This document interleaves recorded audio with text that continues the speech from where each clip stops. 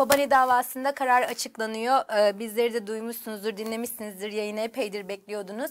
E, ne demek istersiniz? Nasıl yorumlamalıyız bu kararı? Evet, Türkiye uzunca bir süredir bir normalleşme e, arayışı içerisinde e, ve bu normalleşmenin en e, çabuk, en hızlı, en acil gerçekleşmesi, gerçekleşmesi gereken alanlardan bir tanesi hukuk alanı.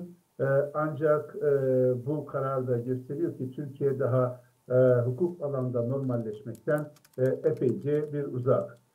Bunun işaretleri aslında bu hafta başında da kendisini göstermişti. Biliyorsunuz Kavala dosyasında yeniden yargılama talebi vardı. O talep reddedilmişti. Ardından Kobani davasına çevrilmişti bütün gözler ve bu davada verilecek olan kararın bundan sonraki süreçte Türkiye siyasetinde, Türkiye'nin hukuk yaşamında nasıl bir dönemin kapısını açacağı sorgulanmaya başlanmıştı.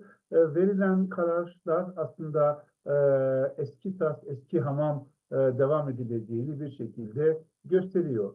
E, bu davanın kendisi e, bir hukuki dava değil. Bunu e, herkes çok net bir şekilde biliyor.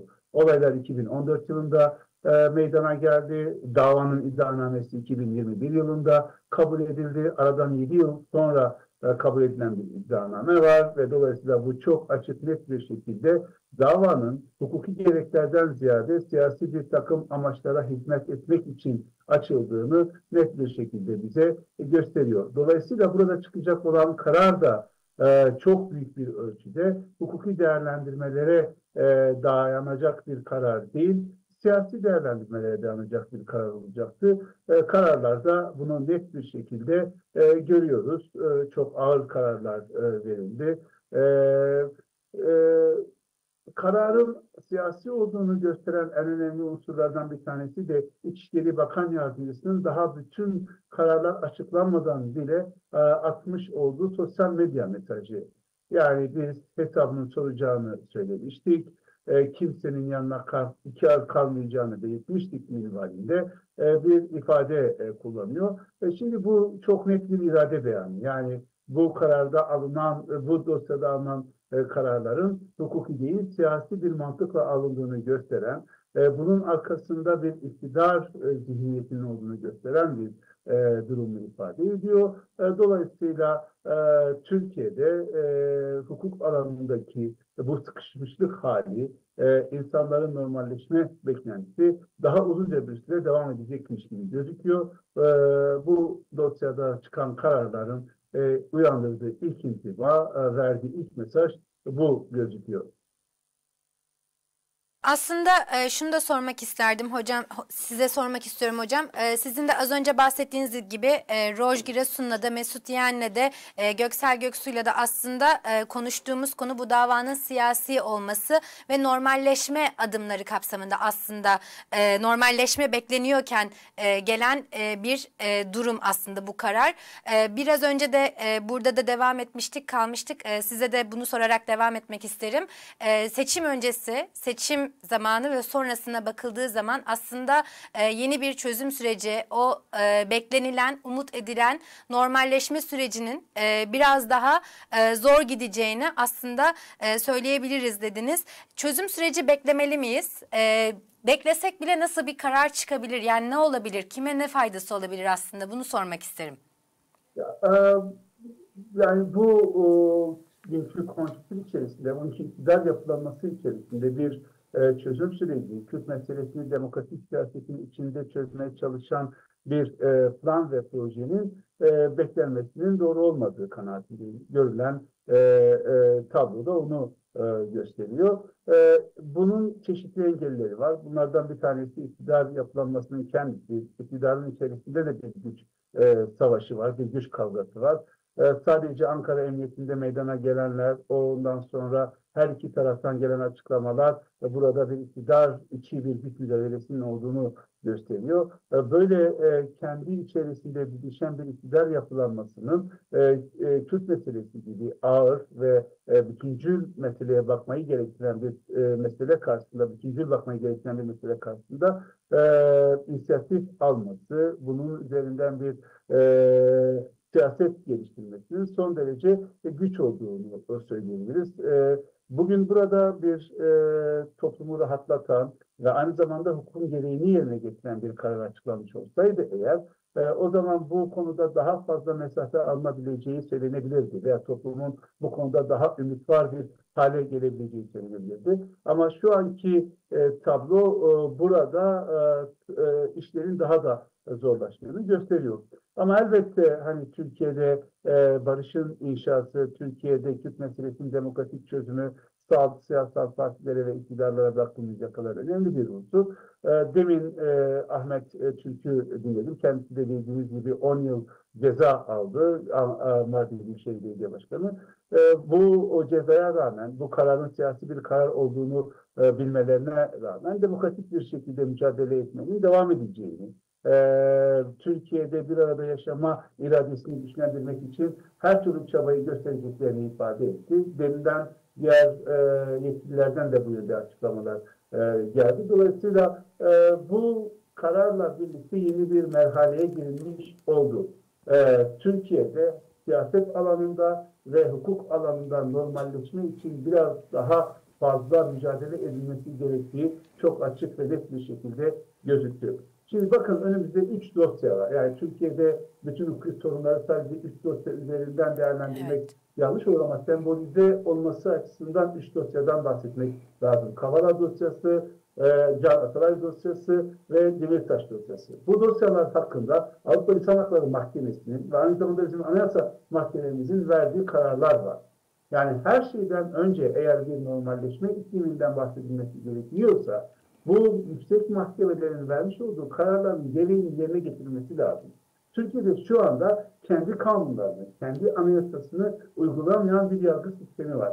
Ve bu yargı sistemi bu tür kararlar verdikçe hukuk alanındaki e, yarayı daha da derinleştiriyor, çözümü daha da zorlaştırıyor. E, siyasetin özellikle e, son seçimlerden sonra e, ciddi bir güç kazanan muhalif, muhalefet partilerinin bu hukuk meselesine daha fazla yoğunlaşmaları ve bunu siyasetin ana gündem maddesi haline getirmeleri gerekiyor. Şimdi mesela bu bağlamda belki konuşacağımız bir diğer konu örneğin anayasa meselesi. Anayasa evet. meselesi hükümet gündeme getiriyor. Sivil demokratik bir anayasadan bahsediyor. Türkiye'nin 1900 82 anayasasıyla bir darbe anayasasıyla yönetilmesinin çok büyük bir ayıp olduğundan deniliyor. Ama diğer taraftan son derece şeffacı, şeffacı olduğumuz, son derece şikayet ettiğimiz, demokratik olduğu hususunda çok büyük eleştiriler getirdiğimiz anayasanın bile gerisinde kalan bir hukuk uygulaması var. Vahap Coşkun, Vahap Coşkun çok özür dilerim. Bir yandan da son derece sıcak saatler geçiriyoruz. Sıcak saatler yaşıyoruz. Mahkeme evet. heyeti biliyorsunuz ara vermişti ama tam da Selahattin Demirtaş'la ilgili kararı okuduğu sırada ara vermişti. Evet. O ana kadar açıklandığı kadarıyla Selahattin Demirtaş'ın şu anki cezası 28 yıl 6 ay fakat e, mahkeme heyeti geri döndü salona ve Selahattin Demirtaş'la ilgili kararı okumaya devam ediyor. Biz bir yandan o kararı e, yine izleyicilerimizle de paylaşıyor olacağız ama ben sözünüzü şöyle, şöyle e, kestim. E, biliyorsunuz ki devletin zirvesinde e, bir yumuşama e, talebi geldi. Daha doğrusu yumuşama mesajı geldi. E, Cumhurbaşkanı Erdoğan'la CHP lideri Özgür Özel bir araya geldiğinde yumuşama sinyalleri verildi. Buna Özgür Özel normalleşme dedi ve e, beklenti de epey bir yükselmişti doğrusunu isterseniz. Biz de deminden beri burada bunu konuşmaya çalışıyoruz. Osman Kavala ile ilgili karara dikilmişti gözler fakat orada bir hayal kırıklığı yaşandı. O bir yandan da Kobani'de, e, Kobani davası ile ilgili de bir sinyal gibi de değerlendirildi kimi çevrelerce. Şimdi önümüzde de peş peşe açıklanmakta olan bu kararlar var. Sizce e, yumuşama sinyali bunun neresinde? Yumuşamadan ne anlamalıyız? E, orada verilen mesajla bu kararları nasıl da yan yana koyabiliyorsunuz? E, o değerlendirmeyi rica edelim sizden. Elbette Türkiye siyasetinin bir normalleşmeye ihtiyacı var. Türkiye'de aslında bütün toplumsal alanların bir normalleşmeye ihtiyacı var. Bu bağlamda ana muhalefet partisi lideriyle e, iktidarın e, görüşmesi, e, Türkiye'nin sorunları üzerinde müzakere etmelerinden daha doğal bir şey yok. Bu adımlar doğru adımlar. Ama yumuşama dediğimiz şey sadece liderlerin bir araya gelip mesaj vermeleriyle olacak bir iş değil. Bu yumuşamanın sahaya yansıması lazım. Yani e, Türkiye'de yumuşamayı engelleyen, Türkiye'de daha doğrusu normalleşmeyi engelleyen e, hukuki metinler varsa bunların değiştirilmesi, uygulamalar varsa bu uygulamaların gözden geçirilip bunların demokratik bir şekilde güncellenmesi ile ol- olabilecek bir şey. Yoksa salt mesajlar vererek bir araya gelinme, gelinerek bir normalleşme e, söz konusu olmaz. Şimdi bir taraftan normalleşmeden bahsediliyor, bir taraftan bir yargı partisi hazırlanıyor. Bu yargı partisinde e, demokratik siyaseti, toplumsal e, muhalefeti çok daha baskı altına alacak e, yeni düzenlemeler getiriliyor. Yani Türkiye'de otoriterliğin dozunu artmayı artıracak olan yeni düzenlemeler getiriyor. Şimdi e, bu ikisi birbiriyle örtüşen bir durum değil. Yani bu böyle normalleşme olmaz veya e, Kavala dosyasında, Demirtaş dosyasında, Atalay dosyasında e, gayri hukuki davranarak, hukuk dışı davranarak, hukuk dışı davranmakta ısrar ederek bir normalleşme gerçekleşmez. Normalleşmenin yapılması isteniyorsa eğer şu anda Türkiye'de e, demokratik standartları alta çeken yasal düzenlemelerin ortadan kaldırılması, ee, bu mahkeme uygulamalarının gerçekten hukuk devletine uygun bir şekil almasıyla ol- olabilecek olan. Yoksa e, sadece mesaj vererek, sadece iyi niyetleri beyan ederek bir normalleşmenin gerçekleşmesi zor. Ee, bunu zamana da yaydığımızda yani normalleşme için gerekli olan adımları atmadığımızda da bu normalleşme e, söylemi bir süre sonra etkisini de yitirme tehlikesiyle karşı karşıya kalır. Ee, Vahap Coşkun aslında e, size de şunu sormak isterim. Az önce de Ahmet Türk'ün cezasından da bahsetmiştik. E, ister istemez e, şimdi hapis cezasına çarptırıldığı için ne olacağını da e, belki siz daha e, ayrıntılı ve detaylı bir şekilde anlatırsınız bize. E, kayyum politikalarının geri dönme ihtimali üzerine aslında sormak istiyorum. E, bu bir e, özellikle bölgedeki e, halk için, e, vatandaş için bir korku da yaratabilir yüksek ihtimalle. Nasıl bir öngörünüz var? Ya, Kayyum uygulamasının öncelikle tamamıyla antidemokratik olduğunu altını çizmek lazım. Çünkü kayyum uygulaması vatandaşların en temel haklarından biri olan seçme ve seçilme hakkını ortadan kaldıran bir uygulama. Ve e, velev ki bir belediye başkanı e, bir suç işlemiş olsun, o bile o belediyenin seçilmiş bir kişi tarafından yönetilmesini engellememeli. Çünkü belediyelerin meclisi var, o meclisten başkaları da seçilebilir. Ahmet Bey'in durumuna gelince, Ahmet Bey'in durumuna gelince verilen karar elbette kesin bir karar değil. Daha bunun istinaf yolu var ve e, o süreci de devam edecek. Ama iktidar e, bundan sonra nasıl bir yol izler onu şimdiden kestirmek mümkün değil. Ben e, 31 Mart seçimlerinin, bu seçimlerde ortaya çıkan tablonun e, iktidarın kayyum uygulamaları konusunda elini daha da zayıflattığını düşünüyorum. Yani eskisi kadar e, güçlü değil, iki açıdan eskisi kadar güçlü değil. Bir kere kayyum uyguladığı yerlerin tamamını kaybetti. Yani insanlar açık ve net bir şekilde bu kayyum uygulamasını kabul etmediklerini, buna karşı olduklarını oylarıyla gösterdiler. E, diğer taraftan iktidar artık Türkiye'de birinci partisi. Yani e, bunu gerçekleştirebilecek tırnak içerisinde bir meşruiyeti de arttı. Yok o nedenle bu uygulama daha zor. Ama dediğim gibi e, normalleşmeden uzaklaştıkça e, antidemokratik adımları atmak mümkün hale gelebilir.